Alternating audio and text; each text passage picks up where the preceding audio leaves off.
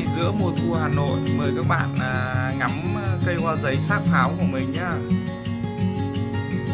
Hoa, hoa giấy sát pháo rất dễ trồng và hoa rất là sai hoa tươi đẹp. Nở. Tung trời luôn. Mình đang nuôi thân cho nên là để nó vươn vọt ra. kia